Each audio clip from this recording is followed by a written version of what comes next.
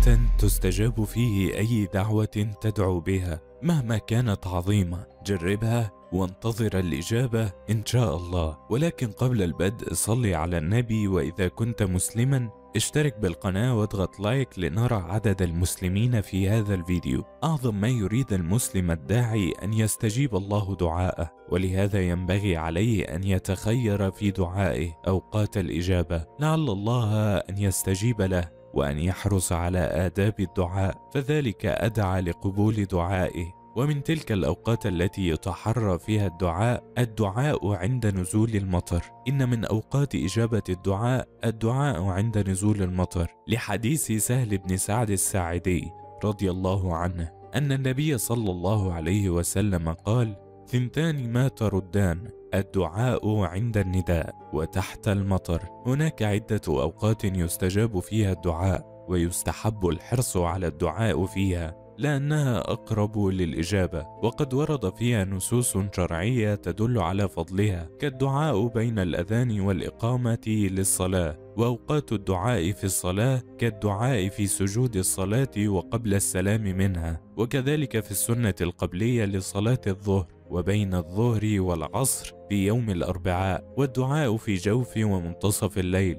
وفي يوم الجمعة ويوم عرفة وفي الحج أو العمرة وفي عدة مواضع فيها كالدعاء حين الصعود على الصفا والمروة أثناء السعي وعند الوقوف في مزدلفة يوم النحر وبعد رمي الجمرة الصغرى والوسطى أيام التشريق إلى غير ذلك من المواضع والأوقات الدعاء حين الصيام والسفر إن من أوقات إجابة الدعاء الدعاء حين الصيام والسفر كما ورد في حديث أنس بن مالك عن النبي صلى الله عليه وسلم ثلاث دعوات لا ترد دعوة الوالد لولده ودعوة الصائم ودعوة المسافر. الدعاء عند شرب ماء زمزم. إن من أوقات إجابة الدعاء الدعاء عند شرب ماء زمزم.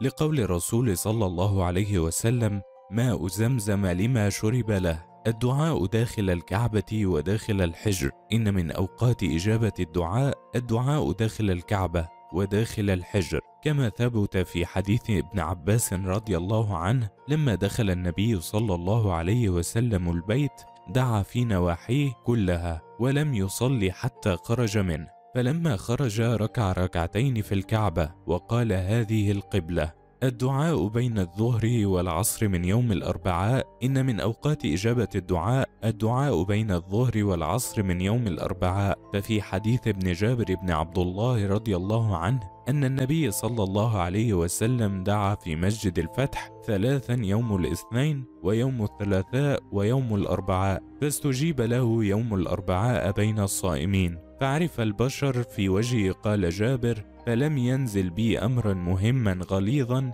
إلا توخيت تلك الساعة فادعو فيها فأعرف الإجابة. الدعاء في جوف الليل ومنتصف الليل. إن من أوقات إجابة الدعاء الدعاء في جوف ومنتصف الليل. ففي الليل ساعة لا يرد فيها الدعاء كما في الحديث عن النبي صلى الله عليه وسلم تفتح أبواب السماء نصف الليل فينادى مناد هل من داع فيستجاب له؟ هل من سائل فيعطى؟ هل من مكروب فيفرج عنه؟ فلا يبقى مسلما يدعو بدعوة إلا استجاب الله له إلا زانية تسعى بفرجها أو عشارا. وقد ثبت في صحيح البخاري أنها ساعة في الثلث الأخير من الليل ففيها ساعة استجابة الدعاء في الليل حيث ثبت في الحديث الصحيح أن النبي قال ينزل ربنا تبارك وتعالى كل ليلة إلى السماء الدنيا حين يبقى ثلث الليل الآخر فيقول من يدعوني فأستجيب له من يسألني فأعطيه من يستغفرني فأغفر له. لا تنسى مشاركة الفيديو فالدال على الخير كفاعله.